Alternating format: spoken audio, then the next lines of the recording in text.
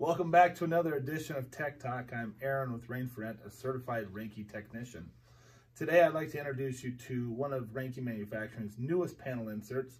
It is the Advanced Plus insert. It takes the place of the Advanced panel or the PAC 3 timer panel.